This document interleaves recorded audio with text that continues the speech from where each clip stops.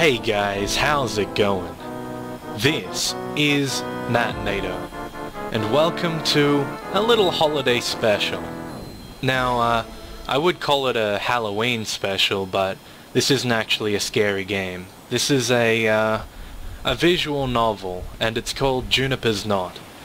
Uh, I found it on iOS, and I played it, and I absolutely loved it. And I went and researched it, and found out that it was a computer game, so I thought, why the hell not download it and play it for you guys? Because if you haven't heard of it, this is going to be a new experience for you. And it's just beautiful. The music, the visuals, everything about it is just absolutely amazing. So even if you have heard of it, uh, I'm going to narrate it. So before it doesn't really have, um, it doesn't have any voice, so it'll be an interesting little thing. I'm just going to quickly turn the display speed down. So, without further ado, let's get into this.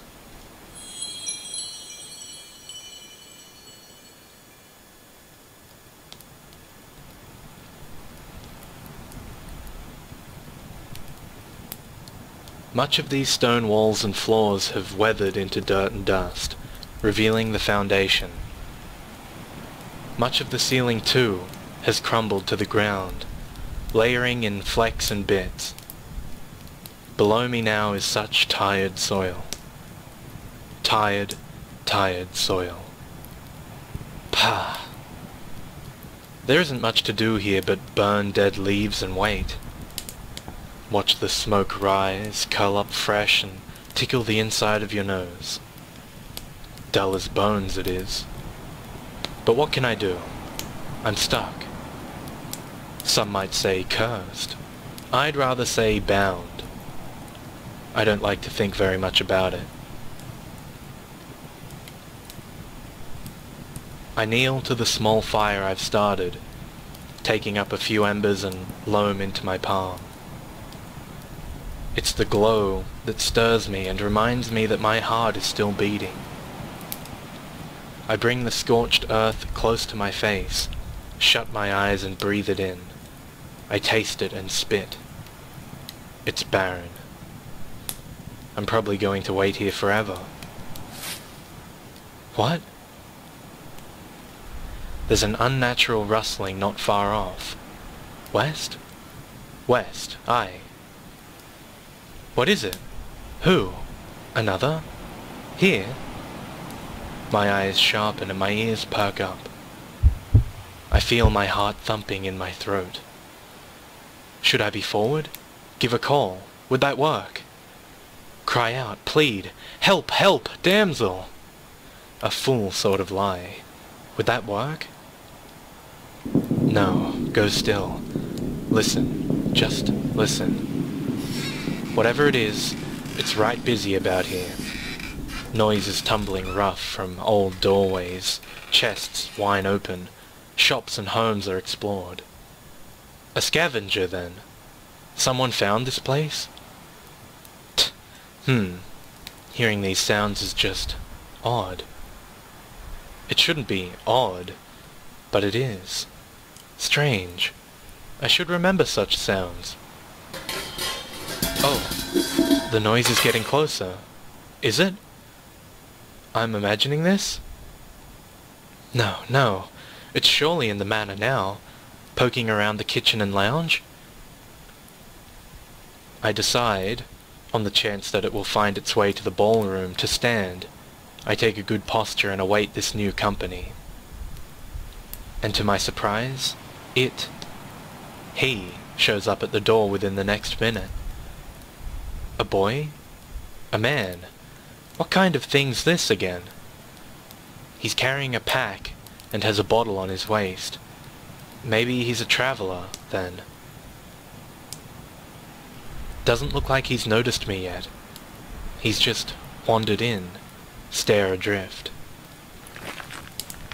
After a few steps I catch his eye. He moves a little closer to look me in the face, and then some more to see my feet. He stops there. He's staring now, and doing nothing more. Come here. As if realizing something, he stiffens. His heart beats loud in the air. I need your help, so come on, come here. He doesn't bend. What is he up to? What does he think this is? I speak again, this time with a little bite. The hell are you waiting for, tit? Oh, oh, have I been rude? Have I been rude? Oh well, you're cordially invited to move your dumb legs. For the first conversational words I've spoken in centuries, they could have been worse. He shakes with fear and stands back. Uh, fiend? Slow, are you? What does it matter? What are you pissing your trousers for? Get over here. Uh, no way. You'll eat my soul. Oh, what? A smile cracks along my face.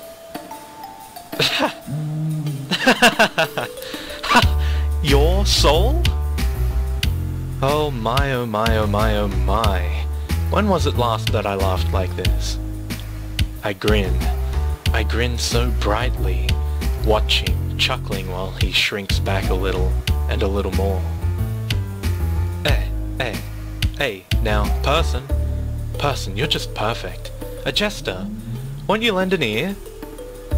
Afore I e eat your soul. At my laughter he glares, steeling himself. He answers me. You're not catching me, demon. You got that? I've read the stories. I'm tired, but I ain't stupid. Am I that famous? Mercy, I left a mark. You know what I mean. Hell, I really don't. Fiends, devils, demons, all of ya. I know how it is. And how is it? You're all foul, and you try to trick people. Trick you? Trick? Tr oh. Oh, I really just can't believe it. What's happened in all the years I've been gone? And what if I'm not trying to trick you, person? What if I just want to hear you? Just want to hear me? What the hell? Like, what's it you've read, lad? Do tell. I'd love to hear a story. I'm a little bored. I think I'll just leave. You'd turn tail on a bloodthirsty, wicked fiend? Look, I know something dirty when I see it. You ain't fooling no one. Ha ha ha. He's so precious. Alright, alright, I'll tell you what. I'll tell you. I, like all us fiends, devils, demons, am plainly trying to win your extravagant soul through my dastardly wit. Honest and true, I'm a rook. But please, please, at the least, tell me of what you've read. Why the hell do you want to listen to me so much? Because I am bored, and your voice, ah, your voice, I swoon. Bah, horse feathers. I really do want to listen. Would you be so kind? Ah, he's genuinely considerate. Such a delight. I do want to hear him. In the meantime, I look him over a little more finely. He's got a fair face, but through the fabric of his shirt I can see that he's muscled. A surprise. Even the soldier boys seemed a little bit lean back in the days I rode at Marla. I wonder what it is he does. He smells like an animal, in the most pleasant way that can be said. It's quite good. Also, he has the faintest scent of watercress about him, mingled with black oil. What a peculiar lad. Ah... hmm. I'd really better not stick around. I guess I can tell you some things, though, uh... Yeah, I guess I can tell you. Long as you stay put, you hear? What's keeping me from you is more powerful than I care to challenge, person. Yeah, er, right, whatever. Here's a story. One from a book I read a lot when I was little. Pfft. Oh, pardon, pardon. I find it very hard to think of you any littler. Quiet! There was a cobbler in Whitaker who had nothing to eat. He was poorer than dirt, and he didn't have a girl, and it made him real sore. He didn't have a girl? A dame, a sweetheart. He didn't have a wife. Ah, continue. While he was walking down an alley, he met this man. He had on a dark coat with a hood that covered his eyes, and the cobbler couldn't make heads or tails of it. He stopped and asked the cloaked man if he'd like his shoes worked on. The... That's stupid. Why would he do that? Because he needed all the work he could get. Well, he should have gone around ruining shoes if he was... if what he needed was work. The cloaked man said he wasn't wearing shoes, but he could use a new pair. But obviously the cobbler's a cobbler, so he don't make shoes. He tells him that. And the cloaked man says, actually, I could really use some new shoes. The cobbler looks at him weird, and says he can get them if the guy's sick. And the cloaked man says, would you do that? I'd do something for you then. And the cobbler says, like what? And the cloaked man says, perhaps anything. He leans forward darkly as he says this. I smirk at the action. Now, I know what you're thinking. I've heard this one before, and know how it goes. Well, you don't. Because the cobbler says, perhaps not. And he walks away. How exciting. But here's the thing. While he's walking, he notices the alley's longer than usual. He doesn't think about it though. Thinks he's just tired from work and keeps walking. But while he's walking, he sees another man in a cloak. He stops and asks if the man could use his shoes getting worked on, and the cloaked man says he doesn't have any shoes. The cobbler stops and looks at him, and says he'd better get moving. The cloaked man says he could really use some new shoes.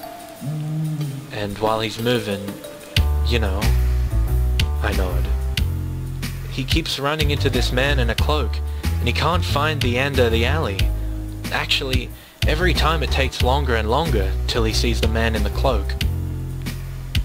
On the eighth time he runs into the man, he stops and asks, What's the game? And the cloaked man looks at him with yellow eyes. Says he could really use some new shoes. For what? The cobbler says. I don't know, the cloaked man says. Perhaps anything. What do you want? The cobbler knows exactly what he wants. But fiends have yellow eyes, and he knows a fiend. Nonsense. I actually sighed hearing that. So what you're telling me, if this story's anything good to adhere to, is that I might have already trapped you. Dunno. I don't think you did. Why not? He shrugs. I don't think you did. Hmm. I really must say, your manner of storytelling is queer. What? It's strange. Oh. I don't know. It's just very strange to my ears. I guess. How's your story end? The cobbler gets desperate and makes a pact with the fiend to get new shoes by the next day. The fiend will give him gold for him to do that. So the fiend gives him the gold, but he doesn't make it. The fiend traps him in the alley so he can't leave. His soul is taken, and he's damned. The fiend eats his soul and leaves the alley for a farm. A farm? Yeah, I know. I snort. That's comedy. I think it's supposed to mean something, but, uh... Point is, don't get caught up with fiends no matter what. You're getting caught up with a fiend right now. Well, you don't feel right.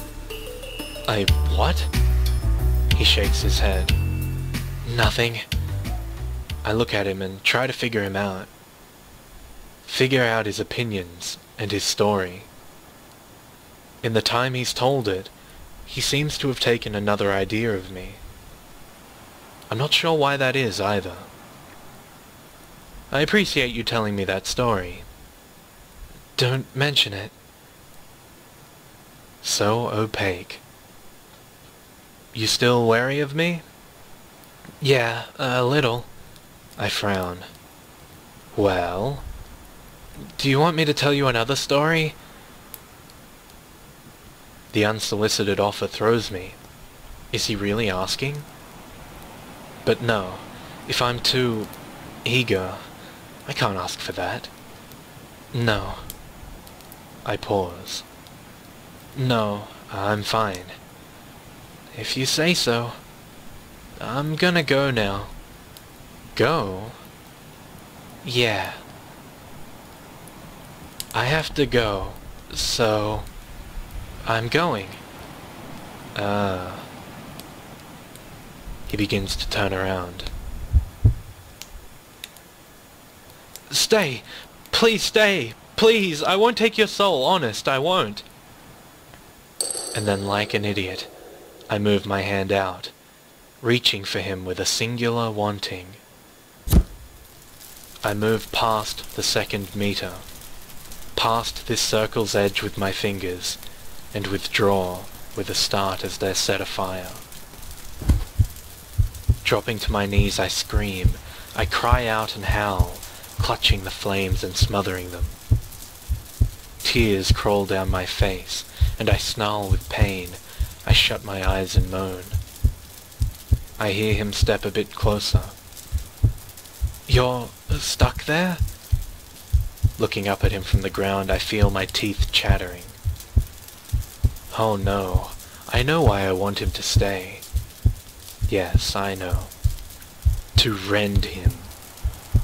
Because as if, as if it just wasn't so funny enough that vines sweat down from the walls and grass is born through stone so close, just outside this putrid circle. Now there's a human, breathing before me. Comedy. Everywhere but here, but near to me, to my desolating blood. These years have damned me, cut and clawed beneath my skin. Scars invisible, but nevertheless blighting. I hate it. I hate it. Hate so much. I hate the feeling it gives my heart, and the strength it takes in kind. I hate it! My flesh heats, and I look away from him. Looking into his eyes enrages me. How long have you been there? Long enough to beg. Long enough, you hear? Too long I've been in this stinking pile. It doesn't matter to you. I want to know. Well, I don't want to tell, I... Uh, sorry, miss? Miss? I take a look at my clicking, stuttering hand, my sight still blurred with tears. It's sizzling. Small blazes dance between the fingers. I take my tongue to it, soothing the burns. You're a bold one, I. Calling me a flap? Uh, what? Huh? No, no, you're, you're no flapper, lady. It means something different now. Miss is just what you're supposed to call older ladies, out of respect. Lapping the flames from the back of my hand, I glance at him. That right. Are you okay? I suck my ring finger and squint. What's that? Alright. Fine? Is that okay? Alright. Alright. Aye, aye. I am a fiend, yes. Heal fast. Though I can still feel it snap and pop, snap and pop in the joints. I whistle cool air through my digits and take myself from the ground. Are you going to stay? I... I could. Uh... oh. Thank you. I'm actually lost right now. Ah, ah, lost, is it? Lost. ha! That's a sweet irony. Don't look so addled, person. The irony's quite obvious here, isn't it? He squints. Think. After all, I cannot even be lost. Forever and ever, I'll know where I am. and where I am is... stuck. I laugh again, but he doesn't find it funny. He doesn't seem to find it much of anything at all. I quit it, wiping away a figurative tear. ugh, ugh. I know this place so intimately, it'd redden your face. He jerks and gives his head a shake. I if you... Hmm? Uh, uh, if you know where this is, do you know where's more? Ah, so earnest. Don't know what more is. I know moors. Moors? Aye, moors. Moors, you follow? I don't know what those are. My, my, ain't this a right dizzy jig we're dancing. Time's making fools of us both. his look's a bit hazy, as though he's having a hard time keeping his eyes fresh. I turn my head silently. What's more, person? Where I was born, live. A town, a new town, city. Think it's been there for a while. That right. He doesn't speak and I glance over just quickly enough to catch him at the end of nodding.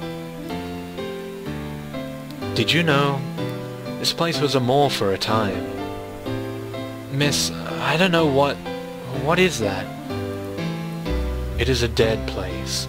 A wet place. I, too, was born in a moor.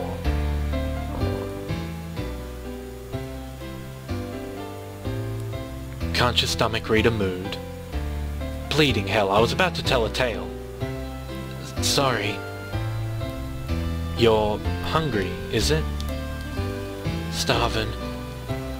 Us fiends, here, we only eat souls, and only for pleasure. Quit joking. Joking? Hey, uh, you got any food? What you blithering on about now? I look like I got food? I don't got any food, idiot. However, here. I thrust out my hands just before the barrier, palms up. Give me the chestnuts in your pack. I smell them. He hesitates. Why? So I can gobble them up. What do you think? I'll cook them for you. They're not long from the branch or the ground, smells like. You haven't cooked them? and nor have you eaten them. You prefer the taste of them cooked? He nods, slowly. I twitch my fingers, waiting. Is there something you want, uh, for this? Your company for the morning, till noon. That's it? I nod. Okay, deal. His words spoken like a knell.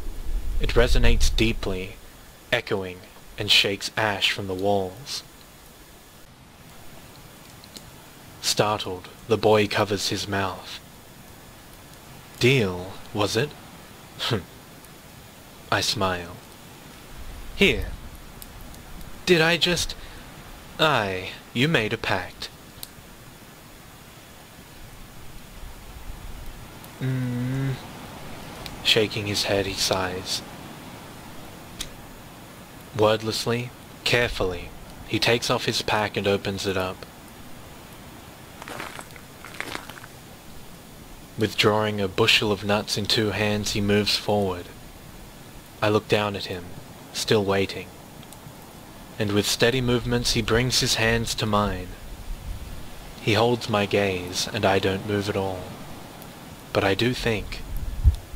I think, wait, couldn't I just... Couldn't I just, you know, quickly just. My hands tense, but it ends with a thought. He drops the heap into my palms. My fingers curl around it. Again, I turn up my lips. Seeing this, he hops back. Give me a moment. I take all but one into my left hand, holding the last between my right thumb and forefinger. Opening my mouth, I bring it between my teeth and puncture it with one of my fangs. I bite through the shell, making a rough cut from one end to the other, and take it out. Observing the inner flesh of it, I spit out the shreds. Satisfied, I go on to carve the second, third, fourth, and so on. When I've finished, I hold the chestnuts aloft and make a hearth of my hand. This'll take a while, person, but not so long. Might we talk some? Uh, sure. Then have a seat. Where did we leave off before your stomach so rudely interrupted? He sits, chin on his knees and eyes half-lidded. More something? Ah, yes. I'll tell you a story about Moors, in return for yours. Though, rather than a story, a chat'd be nice, aye? Save you a story for a bit later. What do you want to talk about? Moors. Oh, right. My Moor. Eh, mine. There really isn't much to say, come to think of it. You said you were born there? Aye, like all fiends I was born in waste. You've read about us, aye? About how we make barren anywhere we stand, unconsciously drain life from earth for our sustenance. Hmm. Hmm. Pallid land and calignous loft, air crawling low and damp with miasma, the path of plants choked sterile.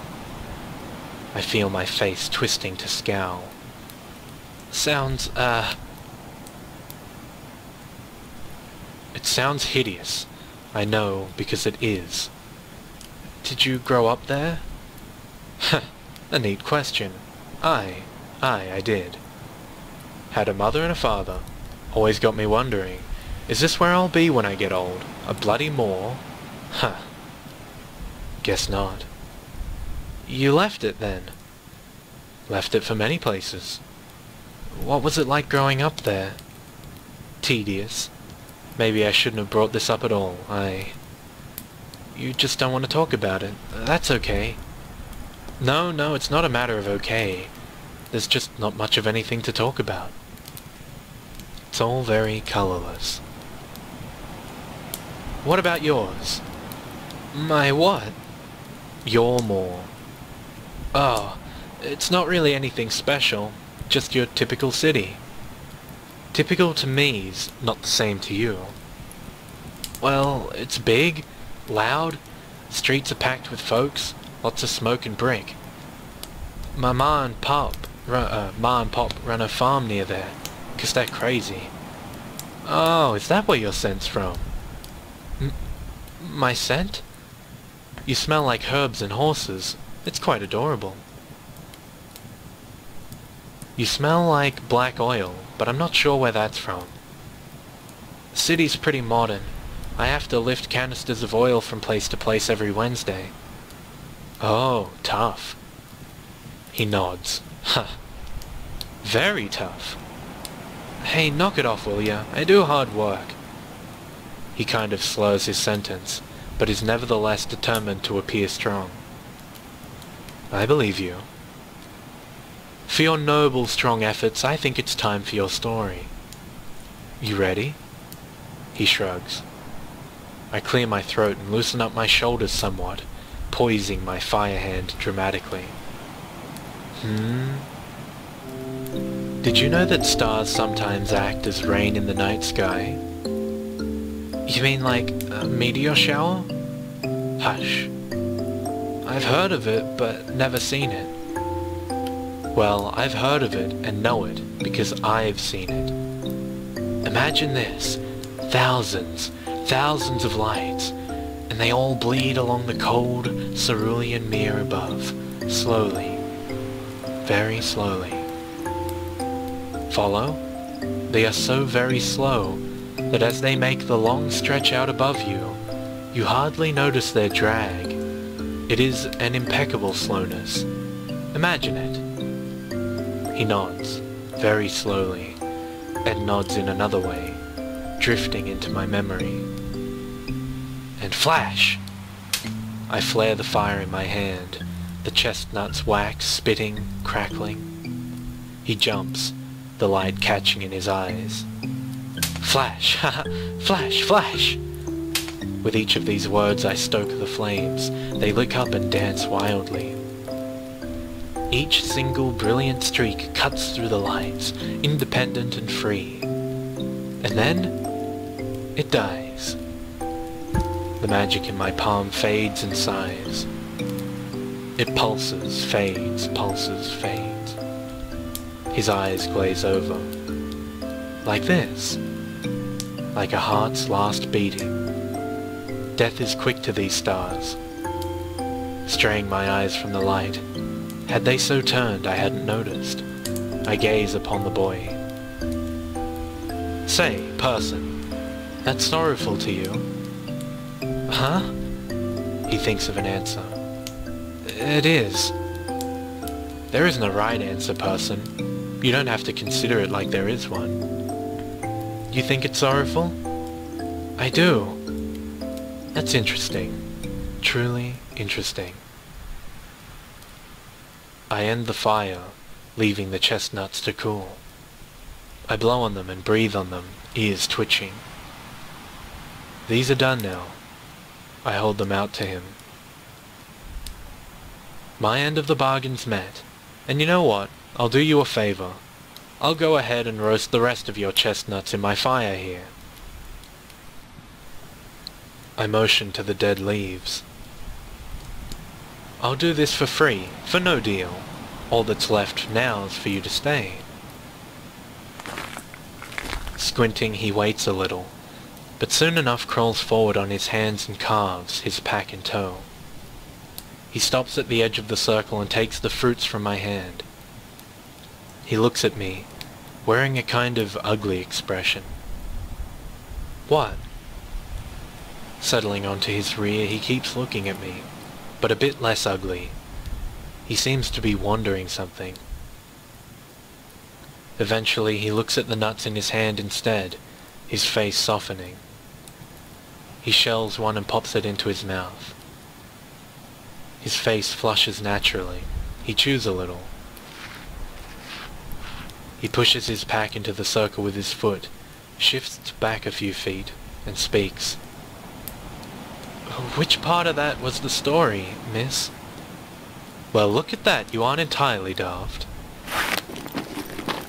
I take up the bag from the ground, shake it a little. Doesn't smell like there's anything more than chestnuts in here. I open it up and check, sure enough finding the things in excess, some with the burrs still on, some still green. I toss those ones. I still rummage through it, just in case there might be something of interest. There's not. Twas a preamble, twas. There's a story to it for certs. I told you I've seen this. Blinking, he nods. With a hollow sound, I crack one of the chestnuts apart in my mouth. I grow the fire at my feet and drop it in there. No more flashy tricks now. As I reiterate these actions, I speak to the boy. I was not alone with those stars, then. I was with another, miss. Dropping another into the fire, I watch it fall. My eyes lose some of their color. She was fair, young, and human, a perfect miss. Such a charming girl. We would dance together and sing, press close when unseen. I was fascinated with her, I think. And so, when she'd gotten melancholy, I brought her from town into those stars. I had the ache in my knees, knew the eventide would be crying, and had figured the beauty of it would settle her. The boy constricts his brow, chewing somewhat sadly. Oh, not to worry, not to worry. It did, it did. He swallows. I've never understood the custom of man. I've always been free-thinking and never bound to the thoughts of others. My actions that night? No, my actions altogether. None took kindly to it when she returned. What happened? What happened? Well, what well? After I took her back to town, she was ploughed and beaten and beaten and beaten and ploughed and beaten and beaten until she could not move or breathe. The boy stares, a nut in his hands held stiff only so near to his parted lips. I buried her under the sky where I last saw her smiling. He closes his mouth into a frown. A century later, I returned to her spot and found an olive tree grown there. It was the sickest thing, gnarled and twisted it was. Furious, I razed the entire plant, its trunk, its bark, its branches and leaves. I scorched its roots. Would have torn out the roots, though refrained to not disturb her. Yet last I'd seen it remained alive, born fruit and uglier than before. Isn't that the most wonderful story one can tell? No! I dropped the last of the chestnuts into the leaves. Didn't you mess up the guys who did it? Mess up? You're a fiend. You didn't eat them? I didn't eat them. What happened to them doesn't matter to the story. I want to know. I don't want to tell. Ah, seriously, miss? You know, when kids in the neighborhood mess with my kid brothers, I beat their faces in with a stick. That's what love is. It's taken care of your mates. Love? That what you figure from this tale, that I fancied her? Well, obviously. It's my story, person, not yours. Come off it. It is an old story, and it is only a story. Stop. What? Man.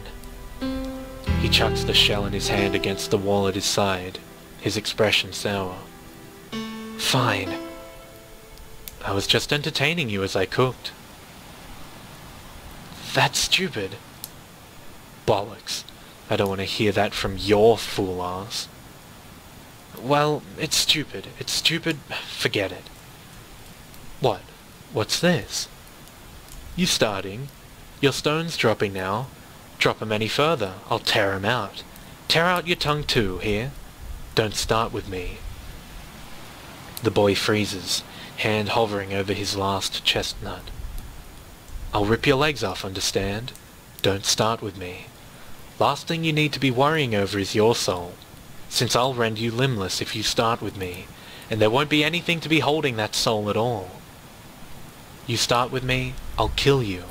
We clear, person? He quickly nods. I chuckle. You're a cute thing, aren't you? Quailing so tender. I can't move from here, person. You know that. Quivering, he speaks up. It, it just sounded pretty real.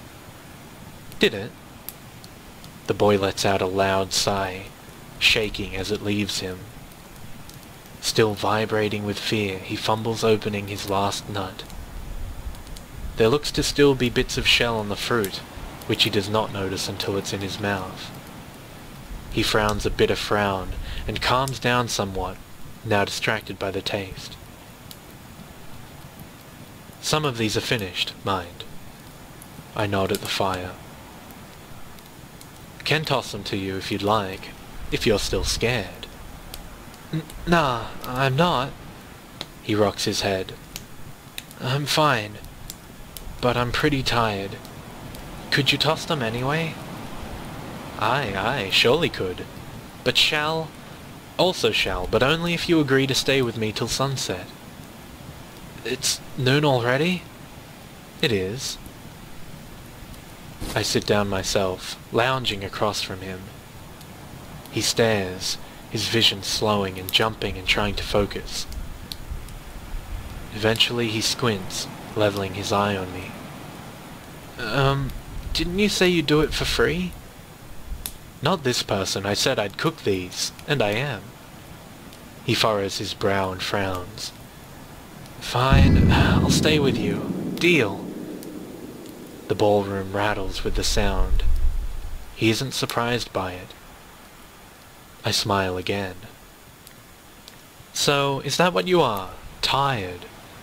Y yeah. I pick up a chestnut and throw it to him. He catches it, somewhat dazedly. How long have you been gone from your moor, person? I don't know. Two days? I throw him another. Ooh, isn't that a long time? No. It's a joke. Laugh. I don't want... If I laugh, it'd basically be like me laughing at you. Ha! Answering with a greater joke instead of simply laughing. You really are a jester. A greater joke? I send one more his way. My existence. My predicament and existence together are the greatest joke in all history. I know this and I've missed half of it. Stop. Such a soft lad. I tilt my head and regard him. I keep leafing through my head book for the memory of another like you, but I'm finding nothing. And I have so many memories, did you know? So many. So many travels, delights, regrets. A boy shouldn't be so soft. The world's so rough it'll shape him ugly. Languidly breathing, the boy eases into his arms a little more. Or it was. It was a rough place. If you don't know moors, maybe this world's also soft now. It'd explain you. He blinks. Where I was raised, in my moor, that was quite rough. You know why I'd laughed earlier, when you'd mentioned souls? You know why I joke of souls? He blinks. So many of us fiends are so obsessive over souls. It's just extraordinary souls, not unremarkable ones like the way yours feel have to look for those mature, spirited humans, their souls heavy with character and experience. He closes his eyes. A newborn soul, for example, won't do anything for you. It is special, though, yes. A newborn soul is quite pure. Quite pure, really. His back rises and falls. Pa sena pa eno? I don't know how to pronounce that, sorry if I got that wrong. Exquisite. I chuck a chestnut at his hair. It bounces off into the ground. He doesn't even flinch. I look into the fire. I gaze into the fire. The fire.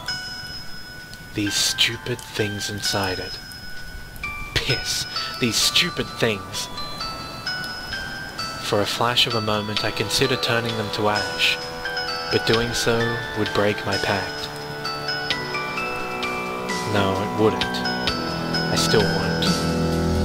I would rather burn this thing, this boy. Blasted. Should have grabbed him while he was at the edge. Would it have been so simple? Or do I need his agreement to exchange his life for mine from the circle? Am I forgetting? Am I forgetting the conditions? This boy be damned for rekindling hopes in me.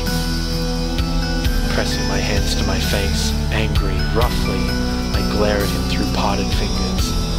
I breathe out. If I could just lunge out from here and take him, I'd do it. I would. I growl. My body still feels the sensation of when I last forced myself through the barrier. The searing into my marrow, the purging of my eyes. And I still would. I'd still lunge out from here. I'd bloody well do it thrice to get out of this blighted circle. Why didn't I grab him before? He was at the edge. Why didn't you pull him in? Take him. I've forgotten so much. God. God to cry to heaven. I... What? Is this what it was like, having passions? I want to die. I wanted to leave, but not anymore. If this is passion, passion, passion, passion, I want to die. I bite my tongue again, burst blood and drown in myself, nails in my wrist, tearing and dig and tug and pull out my bleeding throat again. too.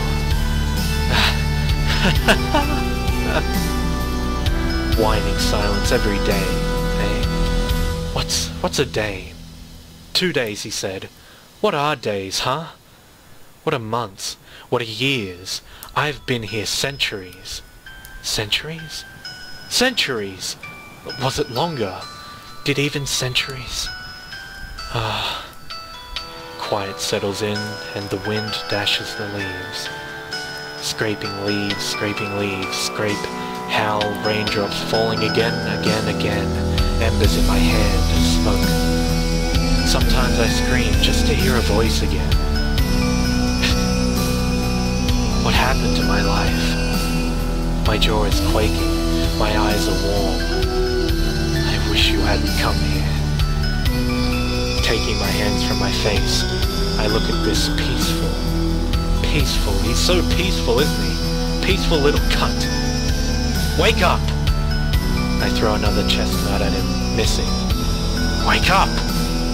Another and another. See me, cur? See me? This body? It does not grant the bloody peace of sleep. I take up a handful and toss them. I haven't slept a minute. Bastard son of a bitch, two pence whore. I haven't slept a second. I have always been awake. Two days? You miserable wretch. Had I only been here two days, I'd drink a pup dry. Damn you, you hear? When you're dead, I'll find and spit on your grave. I'll, I'll plant an olive tree there, you rat bastard. I throw and throw and throw, missing, missing, missing. I hate you. I hate... Ah. Am I sobbing now? A fiend. Sobbing. Why? I drop my arms to the ground, crying in shakes. For the life of me, I can't remember a time ever crying.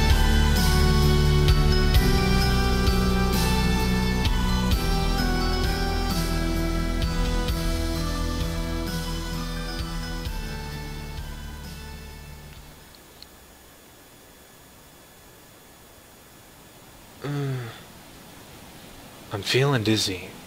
I always feel dizzy when I'm waking up. My mouth's dry too. It's pretty awful. I smack my lips and rub my eyes. I'm still kinda tired. Uh, why was I tired? Ma! Oh yeah, got lost along the way to the Dales. Told Ma I didn't need that horse. He's so dumb. It would have been better just walking alone. Spooked by a dang partridge. Seriously? He must have bolted about half a mile before bucking me off. I opened my eyes and it looks like fog. I rubbed them again and noticed that lady from before sitting in front of me. Is she asleep? Miss, uh, you asleep? No. Oh, I just figured since her eyes were closed and all. I can't sleep. I look at her weird and flinch. Something rolled out of my hair. It drops on the ground. Looks like a shell?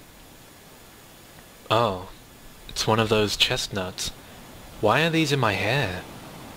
I ruffle up the top of my skull, finding two more nuts and a burr. Whoa, did she throw these at me?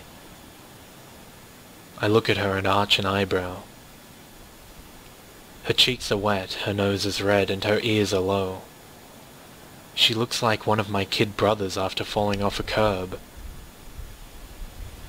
I can't really think of what to tell her. Maybe I'll just say what I always say. Uh, did you do something bad? Tell me the truth. Piss off. Yikes. She's in that mood again. Um, listen. If you got mad 'cause I...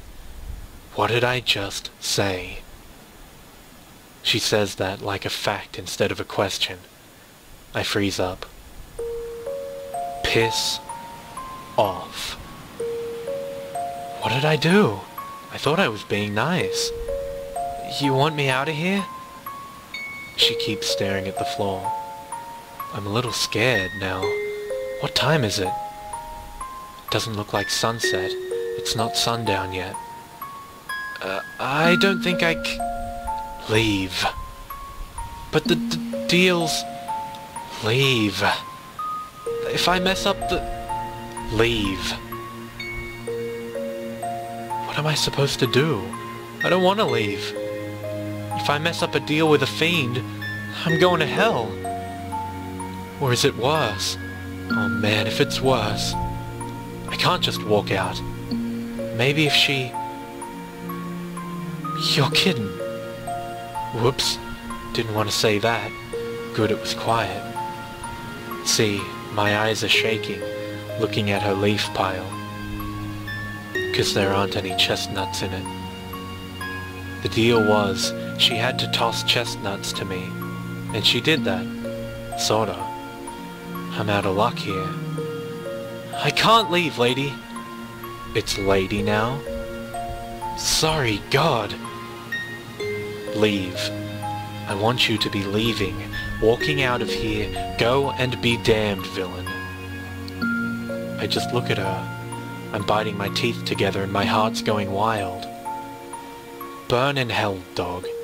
It's where you belong with all the blasted foul creatures of your ilk. Calm the hell down. She picks up her head from her arms and glares at me. J just calm down, alright? Calm down already. You really are an idiot. Well, well, you're crazy. Why the heck are you mad at me? Why'd you even talk to me, lady? What do you want? You're lonely, right? That's it, right? She starts standing up. Well, I'm not gonna let her look that far down on me. I'm standing up too. I'll even step up to her. I ain't letting her get the better of me. I ain't got no problem scrapping with you, lady. I'll knock your block off. You just swore against my family, and I ain't gonna stand for that, alright? Of course, I'm quaking in my boots while I say this. No, I swore against your race. I gulp and frown. Your entire, miserable, sin-hearted race. You know what I'd do if I got out of this circle? She steps forward. I step back. Yes or no? No. She leans forward, just before what I'd guess is the barrier. I can feel her breathing on my face. It's cold and warm. Kill the whole lot of them. Kill the men, kill the women, kill the babies, lassies, lasses and lads just like you. To lads like you, I'll dive my hands into their guts, wrench out their innards, string by string and set them on fire. Uh, I... I'm crying, a little. I'm sorry, okay? I don't know what happened to you. I... I just wanted to know and be nice and... She leans back, standing up straight and breathes out. I swear I see flames coming out of her mouth, airy. Are you scared? I nod, fast. Why? I... I... I don't... I can't touch you. See? All of a sudden, she pushes her hand toward my face. My eyes widen.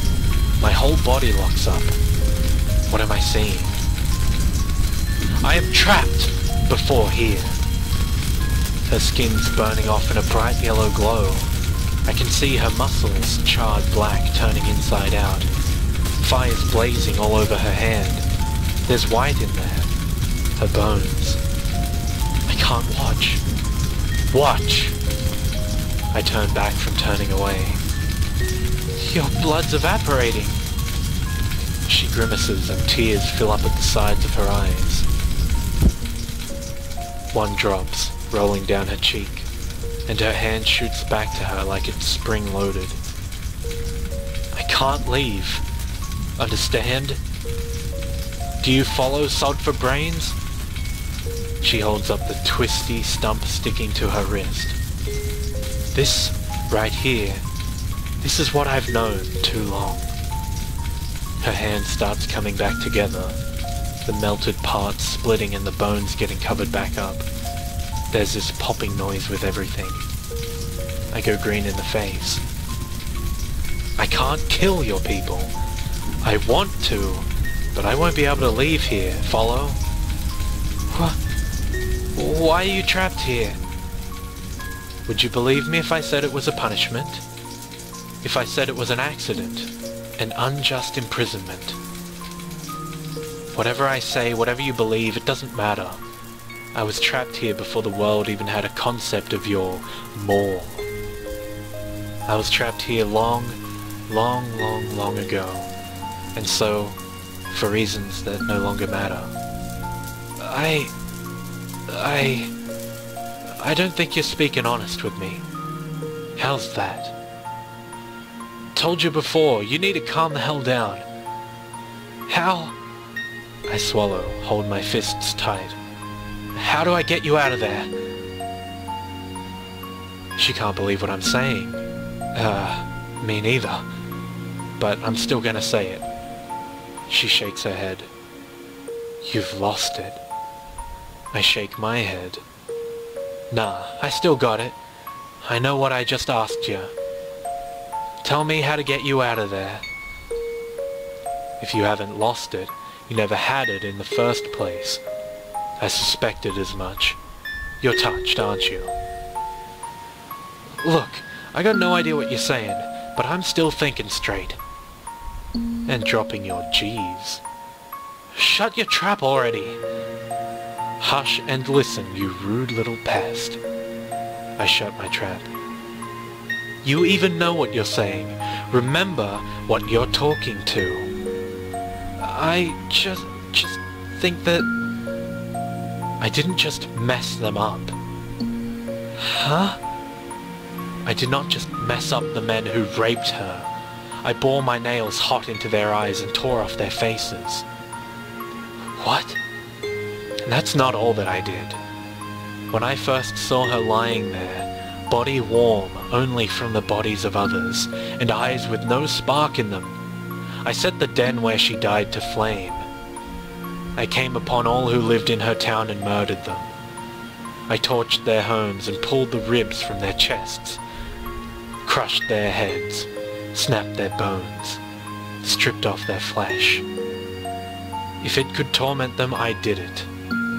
And in case you're wondering, you're all the same to me. I killed all kinds of you. One kind human, sex, age. I didn't pay it any mind when I slew them. Holy shit. Soon they gathered at the center of the town, where I'd first caught sight of her, as if to mock me. So I melted them all to the earth, slowly. On the night that she died, I erased that town from records. All my fighting spirit's gone. Why'd you tell me that? You asked. I didn't want... You didn't have to tell me all the... the whole story. You're right, I didn't. But didn't want... didn't you want to know? What the hell is wrong with you? I'm a fiend. Holy... no! That's bull! Is that why you got put here? No. Really? Yes. Holy shit. I've done many things in my life. Things some find admirable, and others some find despicable. I've put a curse on a family for all their generations, saved a, gig a gaggle of slaves from the tyranny of their fellow man. I've ruined a marriage and I've restored another, slaughtered a town and rescued a child. I've done so many things. And all of those things I've mentioned, not a one of them is the reason I'm here. Y you forgot? Oh no, I remember it quite clearly. But as I said, the reason no longer matters. I just don't get it. You wanted me to save you, right? I swore that's what you wanted. But now you're telling me all these mixed up things, and what the heck am I supposed to think? What the heck do you want? You gone. I breathe out through my nose and close my eyes. Nah, Nah, there's no way. I shake my head again. You've got to be lying to me. I don't think all complicated, sure, but I know when someone's lying to me. Why the heck are you lying to me? I know you don't want me to leave. What happened to you? I look at her eyes. How long have you been in there? I don't know. I don't know anymore. You don't know? That's what I said. I... What the hell's up with that? That can't be right. All fiends got this knack for knowing the hour exactly. The second. It's famous. So, what the hell's it mean if they lose it? Hold on, hold on, hold on, hold on. Hey, how much did you love that girl? I... I hear something click in her throat. She doesn't look like she wants to say. Shut up. I... I feel bad for her. This is goddamn weird, but it's like... She's so sad. Everything about this lady's sad. I mean it. She's just damn miserable and pathetic. She's so... You really don't know how long you've been in there? Yes. I think you've been in there for long enough. I don't think you really want to kill anyone. Then you're a fool. Quiet. I had enough of that joke. Tell me how to save you. I reach out to her and grab her hand. That hand that got screwed up. And's healed now. I hold on to it. Come on! She stares at me. She looks at my hand, holds it with both of hers, and squeezes. She locks her eyes with mine. I need to be switched with another life. That's the only way for me to leave. I put on my manliest face. I'm not going to switch with you. Listen. I keep her from saying anything else. I'm to find another way, alright? What the hell could you do? I'll plant something in your place. Nothing can, uh, nothing can grow here. I am a fiend, eh? That damn right. How am I gonna... I shake my head. Doesn't matter, that. Land's gonna be fine once you're out, right? At least, that's what I think. That's what I've read.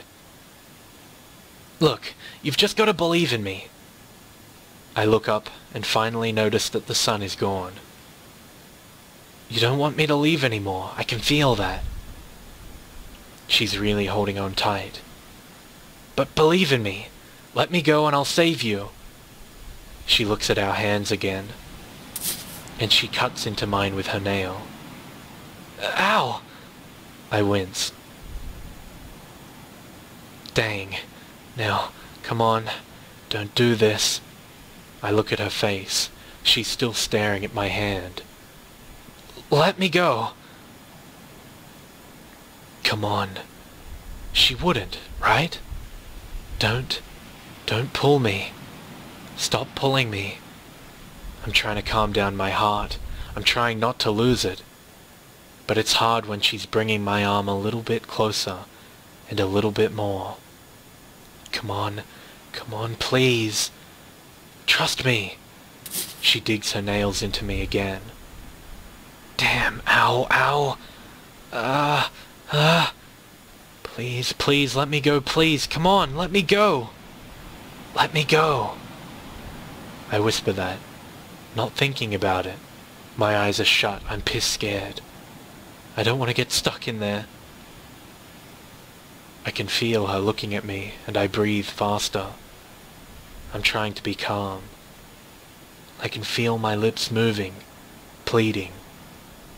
And after a while, real slow, she does it. I open my eyes, shocked.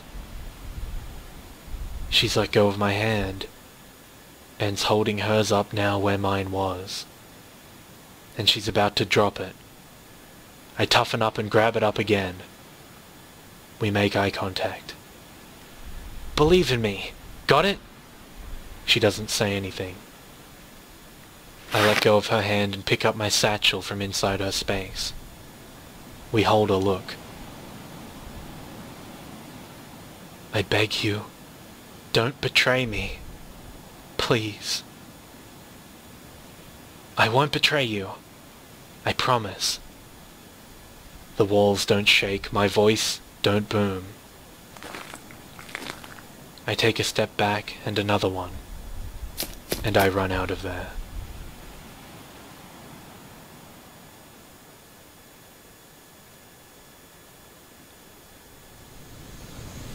It's cold now.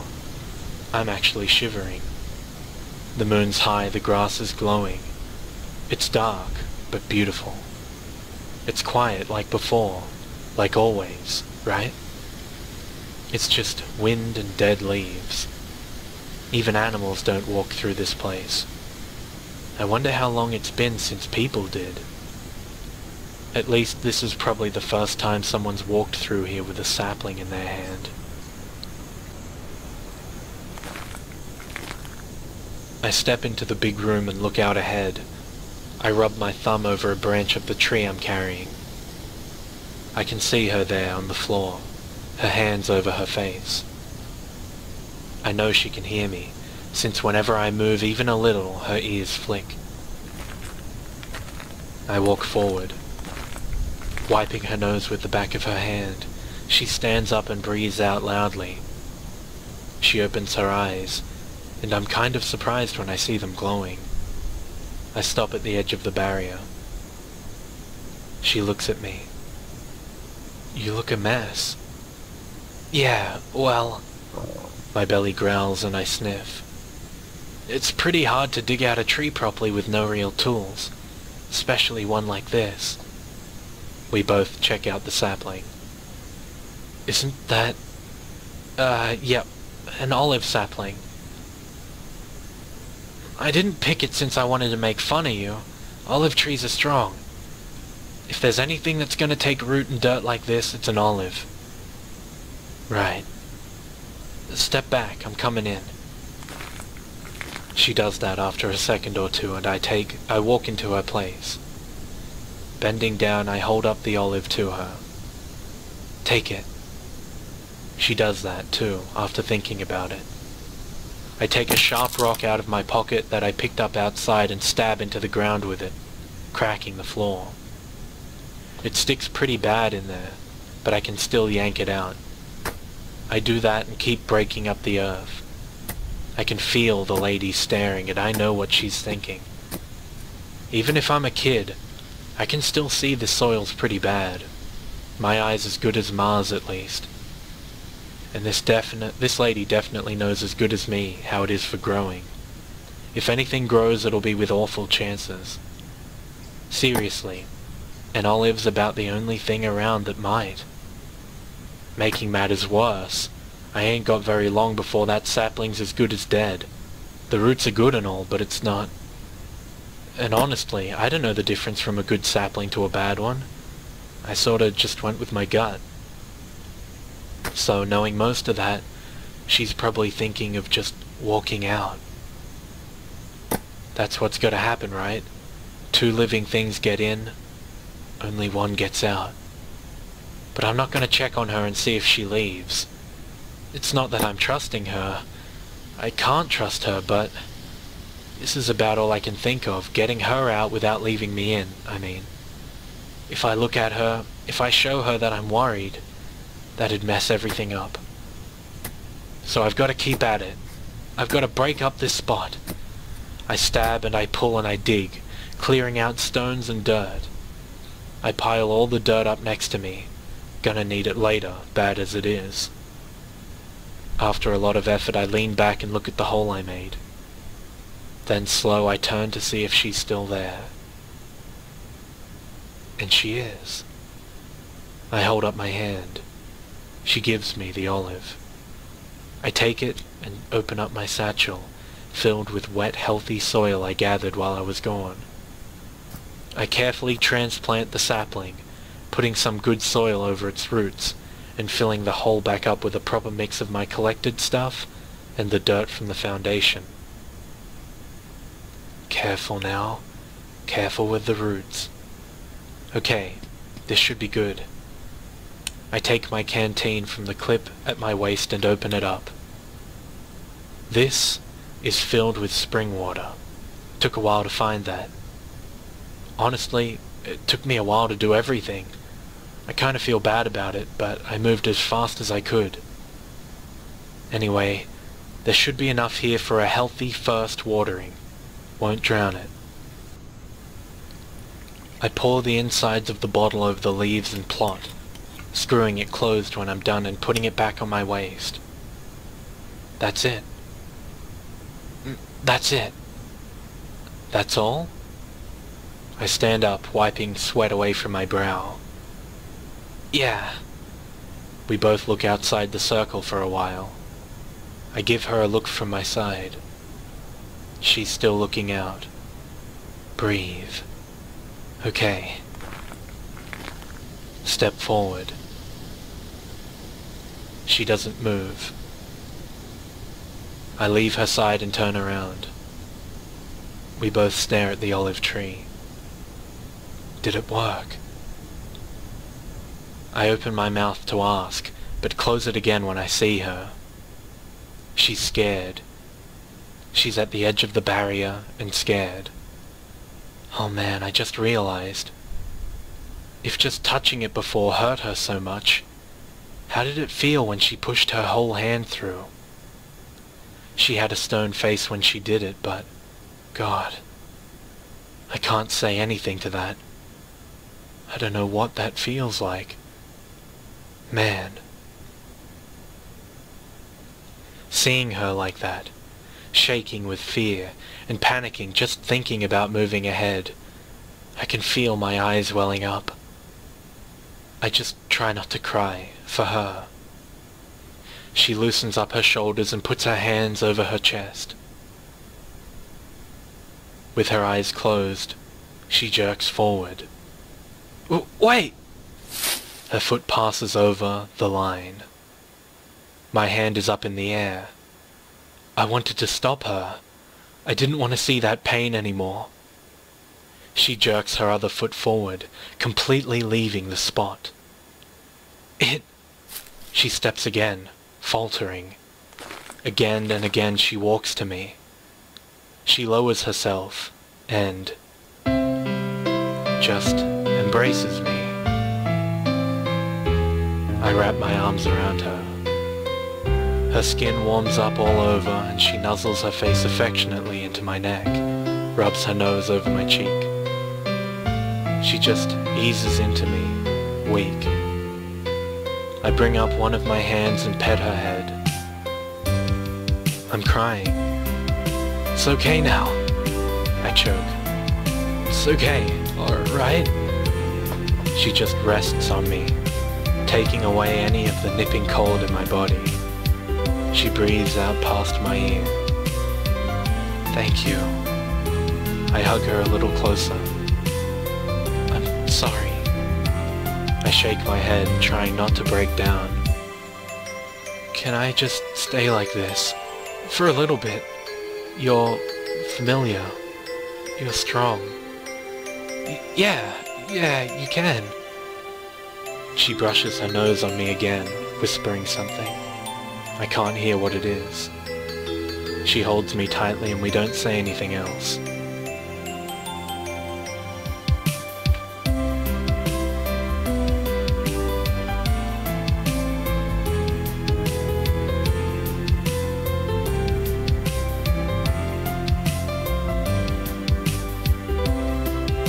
Surprisingly emotional lad. Are all lads like that now? It, it just really hurt looking at you, that's all. Right, right. I'm sure that it did, really. I was quite emotional myself. If Mother saw me like that, I wonder if Mother's still alive. When did I last see this place from here? Has it really been forgotten? Yeah, I'd never heard of it. That's a good thing. I think it's a good thing. What was it like here? Did you like it? It was normal. Extraordinarily normal. So normal, in fact, that I had to file down my horns just to get around. What about your ears? My ears? What about them? You didn't have to hide them? No, I didn't have to. I only look fiendish with just my ears, like an unfortunate halfling. It little bothered anyone before. If it did, I'd grow my hair long. Huh. As I was saying, this town, this town, I might have liked it, once. Though when I first came here, I never would have expected to stay. Ah, yes. The boy was lost, wasn't he? You've any idea how to get back to your home? Uh, obviously not. Don't get smart, I'll help you there. Really? I can't assure I can't assure you when we'll find it, but I'll assure that we shall for certs. I'll take you there, I may as well. You're not gonna go travel? I chuckle. This should be enough of a journey after standing so long. Hmm. We'll camp by the Eastwood Spring for tonight. You know of the one east? It's still there? Yup. Uh, at least it's probably the same one I'm thinking of. Can you fish at all? N not without a rod, no. Then I'll fish for you, but you'll have to prepare it. Can't do everything for you. Hmm. Uh, what time is it? You ask me the time? Sorry, just so out of it. Since I leaned on you earlier, you can lay on me while you sleep. I'll keep you warm. He glances at me briefly and looks pensive. He shuts his eyes. I'll do that. He opens them again, keeping their stare from me. Thank you. I smirk at him. Hmm. What should I even think? I thought this wouldn't happen. Huh? Am I actually asleep? Dreaming? If you are, that'd be weird for me. I'm glad you stayed. I laugh. I'm glad you're a fool. really, I am. I can't say it enough. It's all right. Don't consort with any other fiends other than me. Got it. I honestly feel like this isn't real. But I know that it is. Let's go then. My mind has become so lucid since I've been freed. Bright. So bright that it nearly blinds me. But I can tell. I... I'm happy.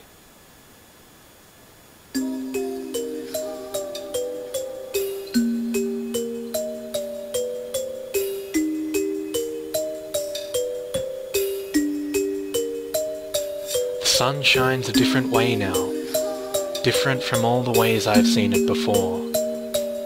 I'd thought I'd seen them all, but this one's different, much more different, pleasant.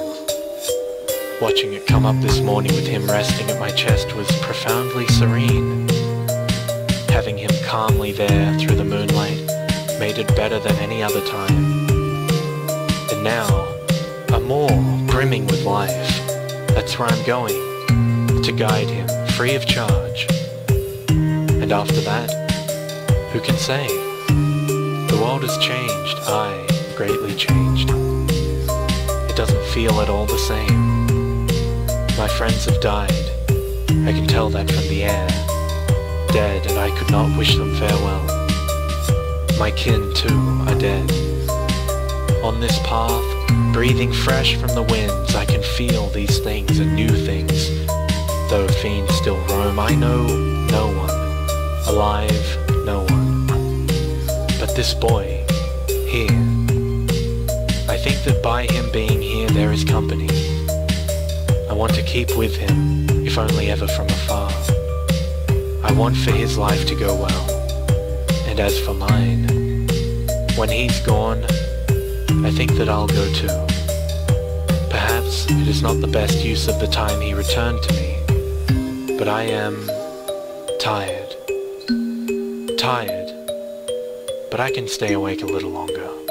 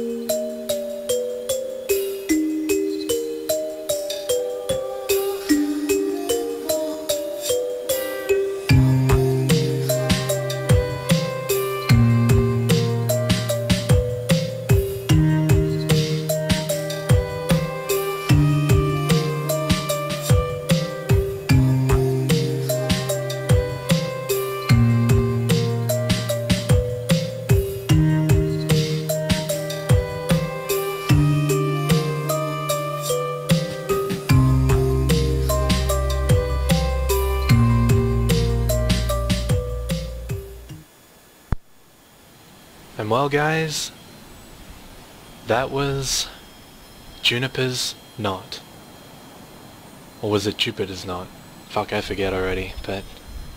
Yeah, I really like that story, and I hope that you liked it too. I guess there's not really anything else to say. Really is a beautiful little story, though. So, I'd like to thank you for watching and sticking around with me through to this point. I know it's uh, kinda long and maybe not the most interesting thing to begin with, but I just felt like I wanted to share it with you, so if you stuck around, then all the better to you. I hope you enjoyed the show, and well, I'll see you next time. Stay tuned for more. It is natural to die.